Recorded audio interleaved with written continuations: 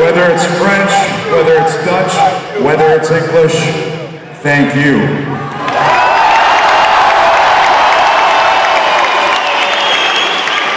Uh, hopefully, uh, you get most of what I'm going to say. I won't stay out here too long and talk too long.